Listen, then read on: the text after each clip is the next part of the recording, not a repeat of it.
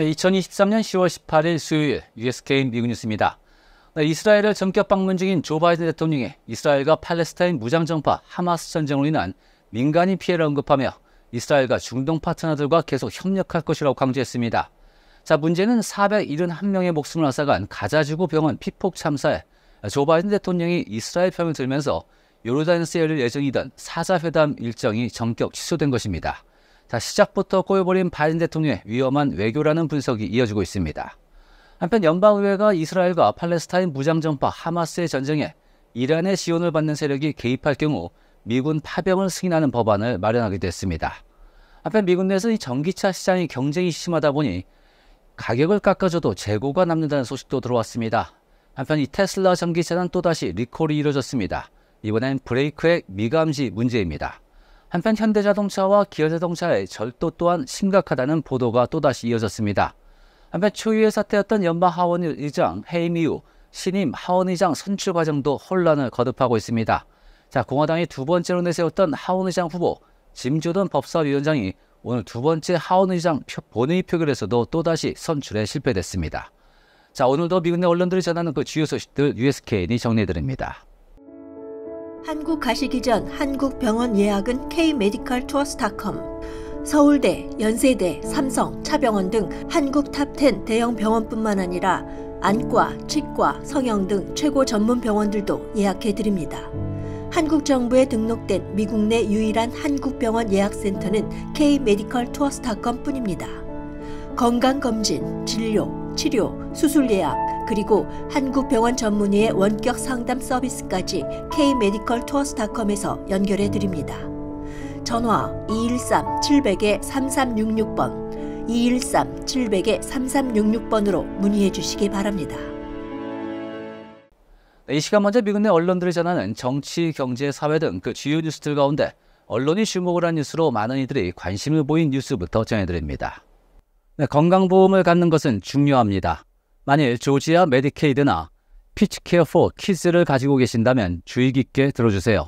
우편물을 확인해서 주에서 보내드린 갱신 양식을 찾아보세요.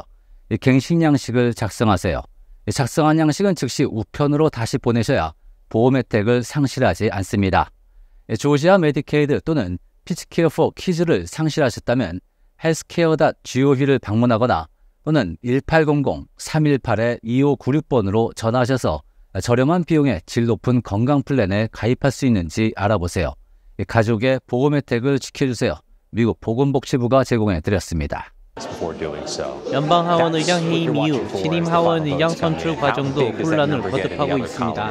공화당이 두 번째로 내세웠던 하원 의장 후보 짐 조던 법사위원장이 어제 첫 번째 본회의 표결에서 공화당 내 20명의 반란표로 인해 하원 의장 선출이 무산된 데 이어 오늘 두 번째 표결이 진행되었었습니다. 하지만 어제보다 공화당의 반란표가 더 쏟아졌었습니다. 결국 의장의 공석으로 인한 하원의 기능마비 사태와 2024 회계연도 본 예산 협상 및 처리 차질도 당분간 이어지게 되었습니다. 무엇보다 하마스의 기습 공격을 받고 전면전에 나서는 이스라엘 러시아에 맞서 2년째 전쟁 중인 우크라이나 지원 예산안 처리가 차질을 빚게 되었습니다. 이런 가운데 조 바이든 대통령은 이스라엘 긴급 지원을 포함해 천억 달러 규모의 안보 패키지 예산을 의회에 요구하는 방안을 검토하고 있다는 보도도 이어졌습니다. 전기차 업체 테슬라가 SUV 모델 X 5만 5천 대를 리콜을 발표했습니다. 미 도로교통안전국 NHTSA는 2021년에서 2023년 생산된 테슬라 모델 X 5만 4천 76대가 브레이크 오일이 부족해도 이를 감지하지 않아 경고를 알리지 않을 확률이 높은 것으로 조사되었다고 발표했습니다. 브레이크 오일이 제대로 표시되지 않으면 브레이크 오일이 부족할 시 braking 성능에 영향을 미치고 결국 사고 위험이 높아질 수 있다고 덧붙였습니다. 관련해 테슬라 서비스는 OTA 원격 펌웨어 업데이트를 통해 해당 사항을 수정한 것으로 전했습니다. 한편 당국은 지난 8월 초부터 테슬라의 모델 3와 모델 Y의 조향불능 등에서도 조사 중인 것으로 알려졌습니다. 지난해 미국 차량 절도 범죄가 전년 대비 10.9% 증가해 약 100만 대의 차량 절도가 이루어졌다는 FBI 통계가 발표되었습니다. 차량 절도 혐의로 경찰에 체포된 사람이 7만 명에 가까웠고 이 가운데 남성이 78.3%였다고 전했습니다. 위협 등을 통해 차량을 탈취하는 범죄는 전년 대비 8.1% 늘어난 25,400건이었습니다. 절도가 빈번했던 차종 순위를 보면 1위에서 3위까지는 대형 쉐보레 픽업 트럭과 포드 픽업 트럭 그리고 혼다 시빅이 들어갔습니다. 4위는 혼다 어코드 그리고 현대자동차와 기아자동차의 절도 건수가 상위 5위에서 7위까지 랭크되었습니다. 차량 절도가 많이 이루어진 한국 자동차들은 소나타와 엘란트라, 옵티마 등이었습니다. 특히 상반기 미국 37개 도시의 차량 절도 범죄를 측정한 결과 전년 동기 대비 33.5% 늘었으며 증가분 대다수는 현대 기아 모델에 대한 절도에 따른 것이라는 미 싱크탱크의 발표도 이어졌습니다. 살인 누명을 쓰고 16년간 복역했다 풀려난 남성이 교통단속 중이던 경찰과 몸싸움을 벌이다 총에 맞아 사망했습니다. 2020년 무죄 판결을 받고 석방된 레너드 앨런 큐어가 조지아주의 한 도로에서 과속 운전을 하다 경찰이 쏜 총에 맞아 사망했습니다. 이 남성은 지난 16일 플로리다주 남부에 있는 어머니의 집을 방문한 뒤 자신의 집으로 향하던 도중 과속 운전을 했습니다. 이를 본 교통경찰은 큐어에게 차를 세우라고 지시했습니다. 차에서 내린 큐어는 경찰관이 체포하려고 하자 불응했습니다. 경찰은 이에 총을 발사했고 남성은 사망했습니다. 사실 이 남성은 2003년 플로리다주 브로워드 카운티에서 발생한 무장강도 사건의 범인으로 지목돼 종신형을 선고받고 복역했지만 사건 당시 범죄 현장에 없었다는 사실이 뒤늦게 밝혀져 2020년에 무죄가 선고되었고 이후 81만 7천 달러의 보상금을 받았습니다. 이후 자유의 몸이 된 후에도 다시 잡혀갈 수 있다는 두려움에 떨었던 것으로 전해졌습니다. 시니어와 저소득층을 위한 식품 보조 지원 프로그램으로 정부가 지급하는 카드, 즉 EBT 카드 정보를 훔쳐 만든 새 카드로 돈을 빼가는 사기 수법으로 LA 카운티에서만 무려 4천만 달러가 사라져 2년 전보다 40배 이상 피해가 커졌다는 보도입니다. 우려스러운 것은 사기범들은 주 정부가 EBT 카드에서 입금하는 날짜와 시간을 정확히 알고 있었으며 ATM에서 대기하고 있다 입금 즉시 현금을 인출하는 수법을 사용하고 있어 주민들은 속수무책으로 당하고 있다는 것입니다. 심지어 국제적으로 범죄 조직까지 움직여 유럽 등지에서 온 사기범들까지 활개를 치고 있다는 보도입니다. 사기범들은 손쉽게 몇 분 안에 카드 정보를 불법 복제하는 skimming 기계를 설치할 수 있다는 데 있습니다. 심지어 카드를 읽어들이는 기계에 작은 카메라를 설치하는 경우도 있기 때문에 카드 비밀번호를 입력할 시 손으로 가릴 것 등도 조언이 되었습니다.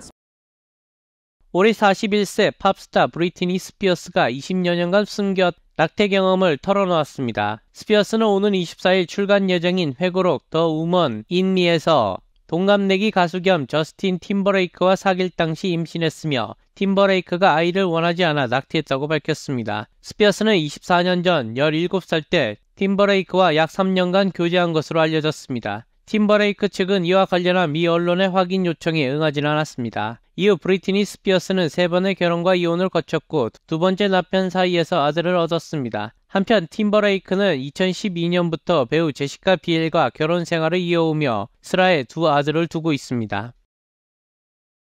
최근 10년 동안 가장 매웠던 고추보다 더 강한 매운맛을 가진 고추가 나타났습니다. 기네스북은 세계에서 가장 매운 고추로 사우스캐롤라이나 주의 한 농부가 육종한 페퍼엑스를 선정했습니다. 고추에 함유된 캡사이신 농도로 매운 정도를 나타내는 스코빌 지수로 볼 때 페퍼엑스의 스코빌 지수는 약 269만에 달하는 것으로 밝혀졌습니다. 스코빌 지수 269만이란 숫자가 와닿지 않는다면 한국의 불닭볶음면을 보면 4,404밖에 안 된다는 점에서 269만이라는 숫자는 엄청난 극강의 매운맛인 것입니다. 품종을 개량해 이 고추를 만든 에드 커리는 Pepper X를 먹었을 때 3시간 동안 더위를 느낀 뒤 경련이 일어났다고 말했습니다. 또 그는 경련은 끔찍했다며 나는 비를 맞으며 약 1시간 동안 대리석 벽에 납작 엎드린 채 고통에 신음했다고 밝혔습니다. 이제 커리 씨는 지적 재산을 보호하고 수익 창출을 위해 Pepper X와 씨앗을 출시하진 않겠지만 앞으로 판매되는 핫소스를 통해서만 Pepper X를 맛볼 수 있다고 BBC는 전했습니다. 네, 계속해서 미국 내 주요 소식들을 보다 깊이 있게 전해드리는 Inside USA가 이어집니다.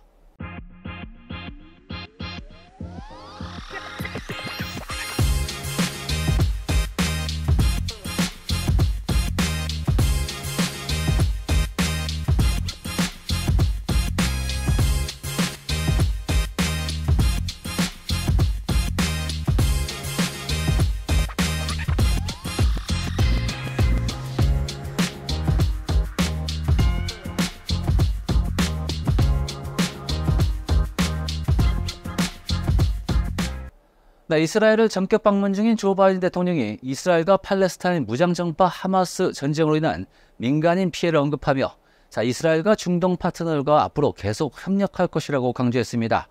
자, 문제는 조 바이든 대통령 방문 하루 전 가자지구 팔레스타인 병원의 폭격으로 500여 명 가까운 사망자가 나온 것으로 과연 누가 폭격을 했는지를 놓고 이스라엘 쪽 주장에 바이든 대통령이 힘을 실어주면서 중동 국가 순방에 차질까지 생기는 등 그 파장을 낳고 있습니다.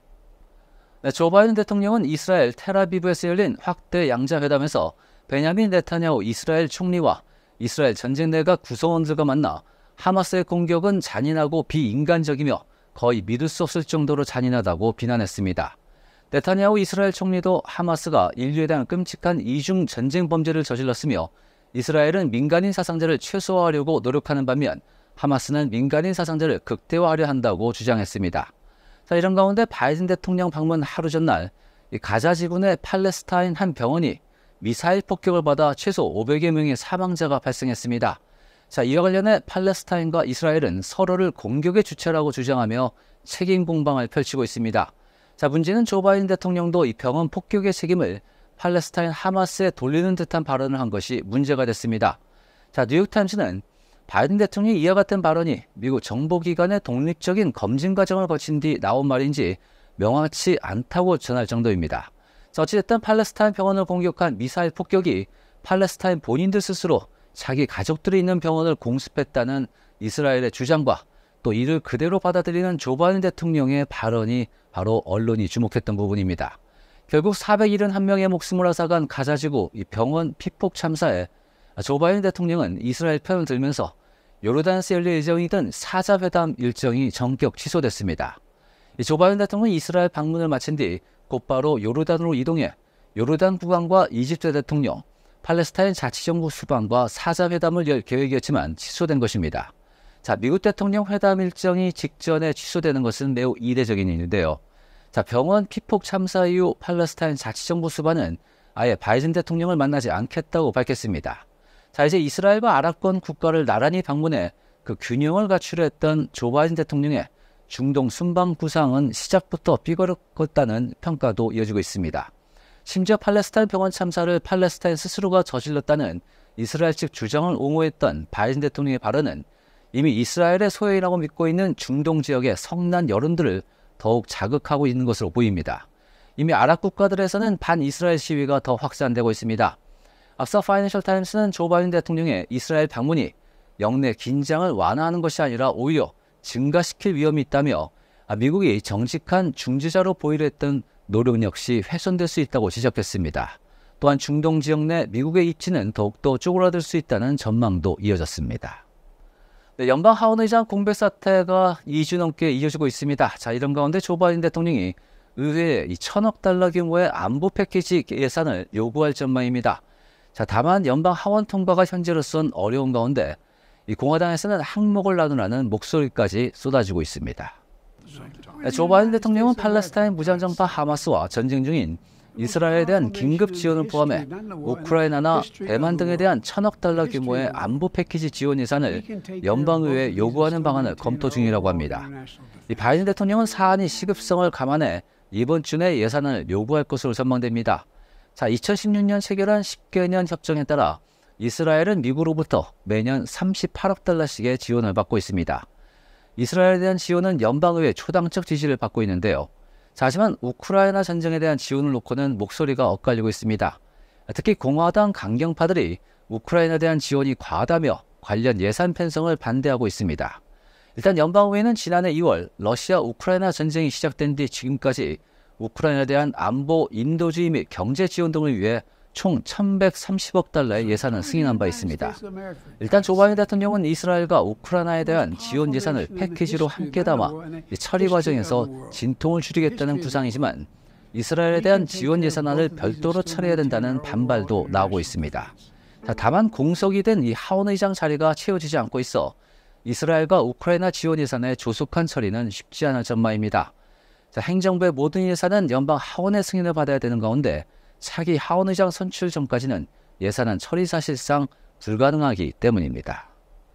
네, 미국 주도로 이 기밀 정보 공유 동맹 Five Eyes 국가들의 이 정보 수장들이 중국의 첨단 기술 절도 행위가 전 세계 혁신을 위협하고 있다며 한 목소리로 경고하고 있습니다. 5개국 정보 수장의 공개 회동은 이번이 처음입니다. 네, 미국, 영국, 캐나다, 호주, 뉴질랜드 등 Five Eyes 5개국 정보기관장들은 어제 캘리포니아주 팔로알토에서 열린 신흥기술 보안혁신 회의에서 중국이 인공지능 AI나 양자기술, 로봇공학 등 다양한 분야에서 기밀들을 훔치고 있다며 이같이 경고했습니다. 먼저 미국 연방수사국 FBI의 크리스토퍼 레이 국장은 중국은 오랫동안 사이버 침입과 인적 정보 작전, 겉으로는 무해해 보이는 기업 투자나 거래 등 거미줄 같은 기술들을 모두 동원해 기업들을 표적으로 삼아왔다며 그 거미줄 가닥들은 보다 뻔뻔하고 위험해지고 있다고 말했습니다. 아, 그는 또한 중국이 다른 모든 주요국을 합친 것보다 더 큰 해킹 프로그램을 보유하고 있으며 어느 나라보다 많은 개인 기업 데이터들을 훔쳐왔다며 AI 기술의 위법 행위를 증폭시키는 수단이 될 가능성을 우려한다고 강조했습니다. 자, 이번엔 호주 안보정보원 ACO의 마이크 버지스 원장도 중국 정부는 인류 역사상 가장 지속적이고 규모가 크며 정교한 지식재산과 전문 지식 도용에 관여하고 있다며 목소리를 높였습니다. 호주 버지스 원장은 지난달 중국이 유명 호주 연구기관에서 연구원들을 잠입시켜 기밀을 빼내려는 시도를 적발한 사례까지 소개했습니다. 이번엔 영국입니다. 영국 정보기관 MI5 켄 맥컬럼 국장은 은밀한 중국의 활동에 대한 MI5의 조사가 2018년 이후 7배로 늘었다고 설명했습니다. 이 밖에도 데이비 피니어 캐나다 보안정보국 CSIS 국장은 중국이 서방 정보당국의 단속 노력에 계속 적응해 점점 더 은밀하고 미묘한 방식으로 스파이 활동을 하고 있다고 강조했습니다. 또한 이 앤드루 햄프턴 뉴질랜드 안보정보국 SIS 국장 역시 기업인들이 중국과 관련된 이러한 도전 과제를 분명히 주시할 필요가 있다고 강조했습니다. 자, 이처럼 미국과 영국, 캐나다, 호주, 뉴질랜드 등 다섯 개 나라들의 정보기관 수장들이 공개적으로 함께 모습을 드러낸 것은 이번이 처음으로 이는 중국의 위협에 맞서기 위한 전례 없는 사건이라는 평가도 이어졌습니다. 자, 이와 같은 회동에 르펑이 주미 중국 대사관 대변인은 우리는 중국에 대한 근거 없는 주장과 비방에 단호하게 반대한다며 중국은 지식재산권 보호에 전념하고 있다고 강조했습니다. 네, 이스라엘과 하마스 간의 충돌, 또 우크라이나 전쟁, 중국의 위협 증가 등 전 세계 긴장 고조에 따라 미국 내 군수업체들의 이익이 급증하고 있다는 뉴욕타임스, 월스트리트저널 등의 보도가 이어졌습니다. 특히 러시아의 우크라이나 침공과 중국의 위협 증대를 의식해 미국산 무기 도입을 추진하고 있는 나라들이 늘어나면서 미국산 무기 수출이 급증하고 있다는 보도 또한 이어졌습니다. 네, 지난 7일 팔레스타인 무장정파 하마스가 이스라엘을 기습 공격한 지 며칠 만에 미국산 무기들이 이스라엘에 속속 도착하기 시작했습니다. 자, 여기에는 보잉이 생산하는 250파운드 유도폭탄과 또 미국 레이시언과 이스라엘 방산기업 라파엘이 공동 생산하는 아이언돔 방공 미사일 등이 포함되어 있습니다. 자, 이로써 이미 지난해 러시아의 우크라이나 침공, 그리고 중국의 대만 등 주변국에 대한 군사적 압박 강화 등의 영향으로 촉발된 전투기와 미사일, 전차, 탱크, 야포 등 그 무기들 수요의 세계적 증가세가 한층 더 힘을 얻게 된 것입니다. 자, 군사정보기업 제인스에 따르면 미국과 중국, 러시아를 제외한 나머지 세계 각국들의 군사 관련 조달 규모는 내년 총 2,410억 달러로 지난해보다 23%더 늘어날 것으로 예상됩니다. 이는 2년 동안 증가율로는 월등히 역대 최고 수준인데요. 또 지난해 세계 각국의 무기 병력 등 국방 지출 금액도 2조 2천억 달러로 냉전 종식 이후 최고 수준에 달했다는 집계도 나왔습니다. 특히 지난해 미국산 무기들의 수출은 2,056억 달러로 세계 무기 수출에서 차지하는 비중이 무려 45%에 이르렀습니다. 자, 이런 비중은 10년 전에 30%보다 15%포인트가량 커진 것으로 1991년 옛 소련 붕괴 이후 최고치라고 뉴욕타임즈는 전했습니다. 자, 이처럼 미국산 무기가 인기인 것은 기존 동맹국들이 무기 조달을 늘리는 가운데 그동안 러시아나 중국산 무기를 선호했던 인도나 인도네시아 등 새로운 고객들을 끌어들였기 때문이라는 분석입니다. 현재 우크라이나와 국경을 접한 폴란드는 러시아의 위협에 맞서 방위비를 국내 총생산 GDP의 4% 이상으로 늘리겠다는 파격적인 목표를 내걸고 무기 확보에 박차를 가하고 있습니다. 자, 이에 따라 올해 초부터 417억 달러 규모의 미국산 무기 도입 승인을 미국에서 받아 록히드 마틴의 F-35 스텔스 전투기 등 무기를 쓸어 담고 있습니다. 또 아시아에서는 중국의 군사력 강화에 자극받은 대만과 인도네시아 등이 미국산 무기 확보에 나서고 있는데요. 또 이제 중동에서도 이스라엘은 물론 사우디아라비아 등이 미국산 무기 도입을 늘리고 있습니다. 자, 이에 따라 미국 군수업계는 우크라이나나 폴란드, 이스라엘 등의 주문까지 가세하면서 폭주되는 수요를 생산 능력이 따라잡지 못하는 행복한 고민에 빠졌다는 보도입니다.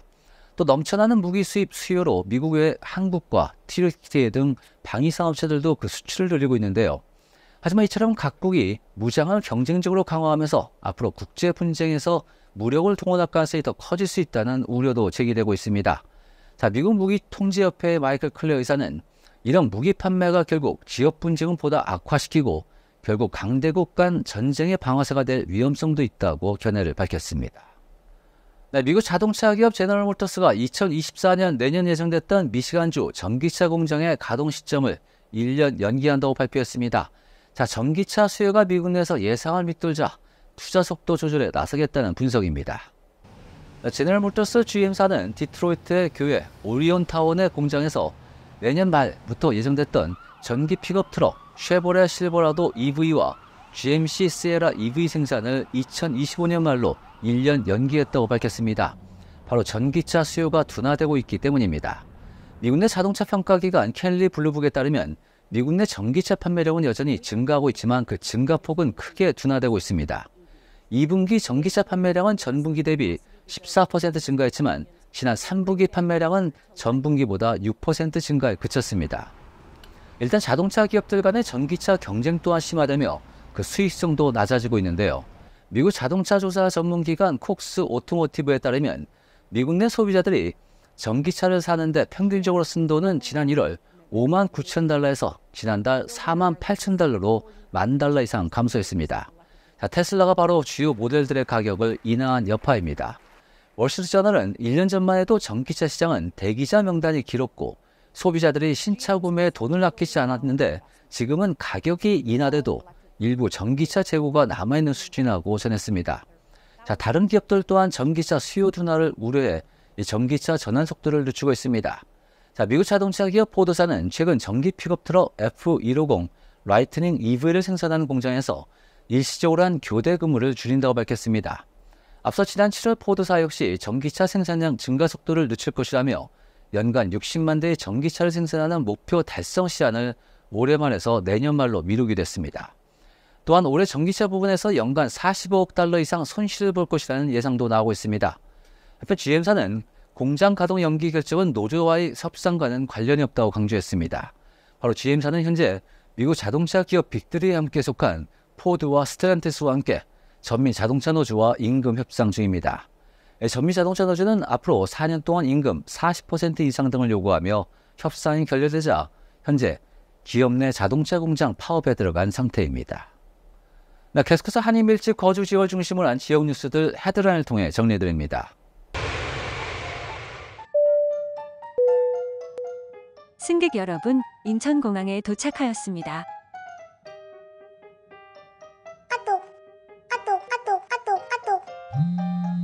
어, 엄마, 나 도착했어. 어떻게 핸드폰이 벌써 터지지? 나 미국에서 KTS 유심 미리 사놨거든. 나도 KTS 유심 미리 준비해둘 걸. 오늘의 미 전국 한인 밀집 지역 뉴스입니다. 먼저 미국 내 주요 헤드라인 뉴스입니다. 공화당이 두 번째로 내세웠던 하원 의장 후보 짐 조던 법사위원장이 어제 첫 번째 하원 본회의 표결에 이어 오늘 두 번째 표결에서도 선출이 이뤄지지 못했습니다. 어제보다 더 많은 공화당 내 반란표가 쏟아졌기 때문입니다. 이스라엘을 방문 중인 조 바이든 대통령이 이스라엘과 팔레스타인 무장정파 하마스 전쟁으로 인한 민간인 피해를 언급하며 이스라엘 그리고 중동 파트너들과 계속 협력할 것이라고 강조했습니다. 연방의회가 이스라엘과 팔레스타인 무장정파 하마스의 전쟁에 이란의 지원을 받는 세력이 개입할 경우 미군 파병을 승인하는 법안을 마련했습니다. 이 같은 움직임은 레바논에 근거지를 둔 무장조직 헤즈볼라를 비롯한 친이란 세력이 개입해 중동 전쟁으로 번지는 최악의 상황을 막으려는 의도로 풀이됩니다. 백악관이 팔레스타인 시민들에게 식수와 음식, 의료 서비스 등을 제공하기 위해 1억 달러 규모의 인도적 지원에 나선다고 오늘 발표했습니다. 국제사회에서 가자지구 인도적 상황에 대한 문제 제기가 높아지자 직접 대규모 지원 계획을 발표한 것으로 보인다는 보도입니다. 이스라엘과 하마스 간 충돌과 우크라이나 전쟁, 중국의 위협 증가 등 전 세계 긴장 구조에 따라 미 군수 업체들의 이익이 급증하고 있다는 뉴욕타임즈, 월스트리트저널 등의 보도가 이어졌습니다. 미국 국채 금리가 상승세를 지속하면서 2007년 이후 처음으로 연 4.9%선을 돌파했습니다. 미국 내 소비가 호조를 지속하면서 연착륙 기대를 키운 게 채권 금리를 크게 끌어올리고 있다는 분석입니다. 미 교통당국은 테슬라가 전기 스포츠 유틸리티 차량 모델 X 5만 5천 대를 리콜할 것이라고 밝혔습니다. 당국은 테슬라의 해당 차량들이 브레이크 시스템과 관련한 연방 표준 요구 사항을 준수하지 못해 사고 위험이 높기 때문이라고 전했습니다. 미국 자동차 기업 제너럴 모터스가 2024년 예정됐던 미시간주 전기차 공장의 가동 시점을 1년 연기한다고 발표했습니다. 전기차 수요가 예상을 밑돌자 투자 속도 조절에 나섰다는 분석입니다. 한국에서의 건강검진, 진료, 수술 예약은 한국 방문 전 K-메디컬 투어스닷컴에서 하실 수 있습니다. 한국병원 예약 공식 지정업체는 K-메디컬 투어스닷컴 뿐입니다. 한국 내 병원 전문의의 의료 상담도 예약 연결해 드립니다. 문의는 전화 213-437-3044입니다. LA, OC 등 미서부 한인 밀집 지역 소식입니다. 미국 주도의 기밀 정보 공유 동맹 파이브 아이즈 국가의 정보 수장들이 캘리포니아에서 만나 중국의 첨단 기술 절도 행위가 전 세계 혁신을 위협하고 있다고 한 목소리로 경고했습니다. 지난 7월부터 석 달간 LA시에 접수된 민원이 무려 36만 3천 건을 웃돌면서 2년 만에 가장 많았습니다. 불법 낙서, 쓰레기 투기 등 다양한 민원이 접수됐는데 특히 노숙자 관련 민원이 급증했습니다. 올해 정부가 지급하는 사회복지금 카드, 즉 EBT 카드 정보를 훔쳐 만든 새 카드로 돈을 빼가는 사기 수법으로 LA 카운티에서만 무려 4천만 달러가 사라져 2년 전보다 40배 이상 피해가 커졌다는 보도입니다. 헌팅턴 비치 시의회가 공공도서관에서 어린아이들이 성적인 내용을 담은 책의 열람을 금지하는 시 조례를 발의해 논란이 일고 있습니다. 성경이나 로미오와 줄리엣, 위대한 개츠비 같이 다른 나라에서도 권장도서인 책들도 성적인 내용이 있어 읽지 못한다는 것은 명백한 위헌이라며 시위까지 이어지고 있습니다. 이번 주 초에 챕터 11 파산 보호를 신청한 대형 약국체인 라이트에이드가 전국 154개 매장을 폐쇄할 예정인 가운데 이 중에는 캘리포니아주에도 31곳의 매장들이 포함됐습니다. LA와 오렌지 카운티에서는 모두 16개 매장들이 문을 닫게 됩니다. 어제 저녁 8시 30분경 말리부 지역 퍼시픽 코스트 하이웨이에서 여러 대의 차량들이 추돌하면서 길가에 있던 보행자들을 덮쳐 여성 4명이 사망하는 참사가 일어났습니다. 사고 원인은 과속으로 추정되고 있습니다. 한국 방문 시 꼭 필요한 휴대전화 심카드로 한국에서 무제한 데이터와 통화를 30일간 사용할 수 있습니다. kshopinUSA.com에서 확인하시기 바랍니다. 판매점 문의도 받고 있습니다. 전화 213-536-9001번으로 문의하시기 바랍니다. 뉴욕, 뉴저지 등 미 동부 한인 밀집 지역 소식입니다. 앞으로 한국 운전면허증 소지자는 뉴저지주에서 운전면허증 시험 없이 발급받게 됩니다. 양측은 이 같은 내용의 운전면허 상호 인정 협약을 체결했기 때문입니다. 로라 카바나 뉴욕시 소방국 국장이 아마존의 전기 자전거 스쿠터 관련 잇따른 화재 사고의 원인으로 지목된 불법 리튬이온 배터리 판매 금지를 요청하는 협조 서한을 발송했습니다. 뉴욕 소방국 자료에 따르면 올해 들어서만 리튬이온 배터리로 인한 화재는 208건이 발생해 14명이 사망하고 116명이 부상을 입었습니다. 뉴욕주 본선거가 3주 앞으로 다가온 가운데 2년 전 뉴욕 한인사회 역사상 최초의 시의원으로 뽑혔던 린다 이 시의원과 줄리원 시의원이 현역으로 있는 시의회 23선거구와 26선거구 선거에 한인사회 이목이 몰리고 있습니다. 12월 초에 실시될 예정인 제31대 뉴저지 한인회장 선거에 미셸 송 전 뉴저지 한인회 수석 부회장과 에드리안 이 베넬리 그룹 사장 등이 출마 의사를 밝히고 표심을 잡기 위해 동분서주하고 있다는 보도도 나왔습니다. 오늘 아침 뉴저지주 에디슨 지역 한 주택가로 스쿨버스가 들이받는 사고가 발생해 학생 한 명이 부상을 입었습니다. 브레이크 고장이었던 것으로 전해지지만 인명피해가 크지 않아 다행이라는 보도입니다. 한국산 식품, 생활용품, 가전용품과 반려동물 사료 등 다양한 제품을 아마존과 같은 온라인 한인 오픈마켓 kshopinUSA.com에서 구매할 수 있습니다. 한국에서 직구도 가능합니다. kshopinUSA.com입니다. 지금 무료 회원 가입하시면 특별 혜택까지 누릴 수 있습니다. kshopinUSA.com입니다. 샌프란시스코, 시애틀 등 이밖의 미국 내 한인 밀집 지역 소식입니다. 지난해 미국의 차량 절도 범죄가 전년 대비 10.9% 증가했다는 연방수사국 FBI 통계가 발표됐습니다. 약 100만 대의 차량 절도 중 현대자동차와 기아자동차의 절도 건수가 상위 5위에서 7위에까지 랭크됐습니다.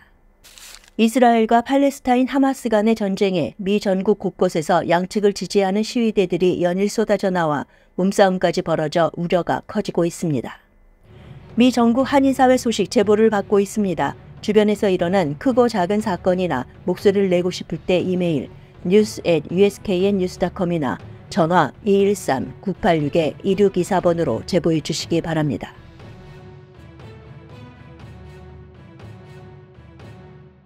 텍사스 메디케이드 보장을 상실해 건강 플랜이 필요하십니까?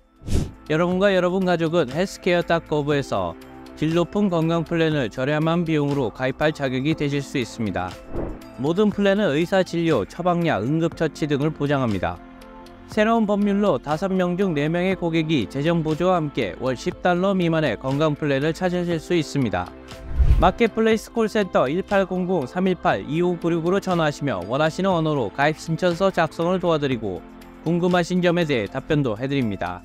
콜센터는 주 7일 하루 24시간 이용하실 수 있습니다. 오늘 가입하셔서 다음 달 1일부터 보장을 받으세요. 헬스케어.gov를 방문하시거나 1800-318-2596으로 전화하세요. 네, 이어서 내일의 날씨와 오늘의 증시 전국 개설린 가격 전해드립니다.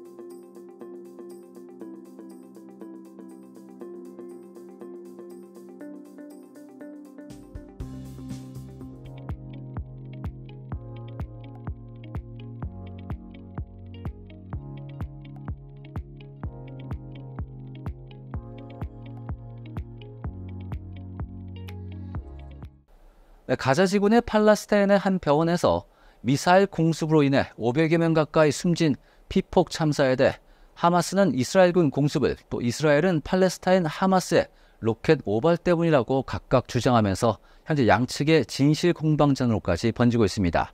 자, 일단 바이든 대통령이 이스라엘 쪽 손을 들어주면서 바이든 대통령의 중동 순방에 차질이 빚어지는 등 위험한 외교라는 지적이 나온 오늘입니다.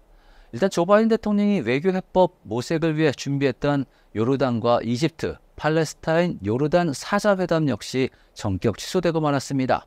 자, 이제 중도에서 결사를 자처하며 중동으로 날아갔던 조 바이든 대통령은 무슬림 분노 역풍의 반쪽 외교라는 평가 또한 이어졌습니다. 자, 그러자 오늘 백악관이 팔레스타인 시민들에게 식수와 음식, 의료 서비스 등을 제공하기 위해 1억 달러 규모의 인도적 지원에 나선다는 발표까지 나오겠는데요. 자, 무슬림의 분노 역풍을 잠재우기 위해 급하게 나온 정책이 아닌가 싶어집니다. 네, 이상으로 2023년 10월 18일 수요일에 전해드린 USK 뉴스 모두 마칩니다. 여러분들 편안한 저녁 되십시오. 고맙습니다.